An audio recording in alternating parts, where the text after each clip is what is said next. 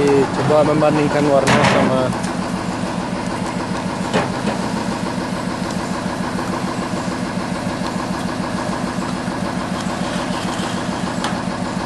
Yang sebelah kanan murni, yang sebelah kiri dari Eka. Ya. Tutup? Tutup. Kita coba lagi. Ya, coba lagi.